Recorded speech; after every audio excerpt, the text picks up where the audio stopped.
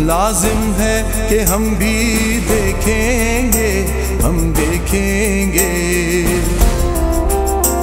हम देखेंगे। लाजिम है कि हम भी देखेंगे, हम देखेंगे। वो दिन के जिसका वादा है।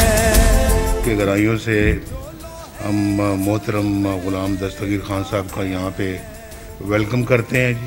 हमारी पार्टी के बुज़ुर्गों में इनका शुमार होता है और हम दिल की गहराइयों से इनकी कदर करते हैं, इनकी वफा की कदर करते हैं, इनकी अपना, ये मुझसे भी ज़्यादा बड़े और मुझसे भी ज़्यादा बड़े भी और पुराने मुस्लिम लीगी हैं और इन्होंने कभी अपनी पार्टी तब्दील नहीं की। हमेशा मुस्लिम लीग में रहे कभी पार्टी ना बदली, ना कभी किसी और पार्टी में कभी जाने का सोचा।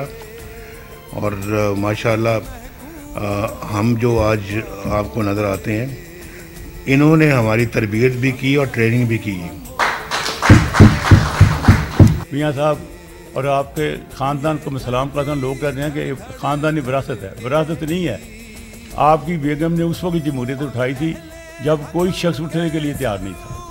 मुशरफ साहब ने इस कदर तंग किया हुआ था और मुझे याद है कि उस बीबी ने किस तरह इस जमहूरियत को फैलाया और बाहर निकली। एक औरत घरेलू औरत थी, कभी वो सियासत नहीं करती थी, कभी वो बाहर नहीं आती थी, लेकिन उस वक्त उनको निकलना पड़ा और उसने अपनी जमहूरियत का एक ऐसा झंडा गाड़ा कि जिसकी वजह से इस मुल्क में फिर जमहूरियत बहाल हुई।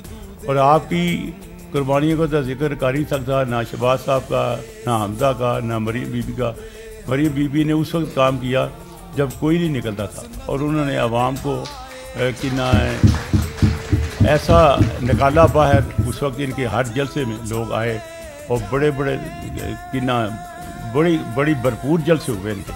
और अगर ये ना निकलती तो शायद हमें कोई पूछता भी ना, सच्ची बात। और आपकी अदम मौजूदगी में इस इस बीवी ने इस लड़की ने इतना काम किया कि मैं बता नहीं सकता और वो बात ही नहीं भूल सकते अब जब इनको गिरफ़्तार किया गया, जब वहाँ पर रखा गया, आपके सामने जब इनकी वालदा पहुँची, जब आपने ज़िक्र किया, सच्ची बात है, ये ऐसी बातें हैं मियाँ साहब, जो मैं कहना कोई दुनिया का आदमी बड़े से बड़ा बर्दाश्त नहीं कर सकता। बस नाम का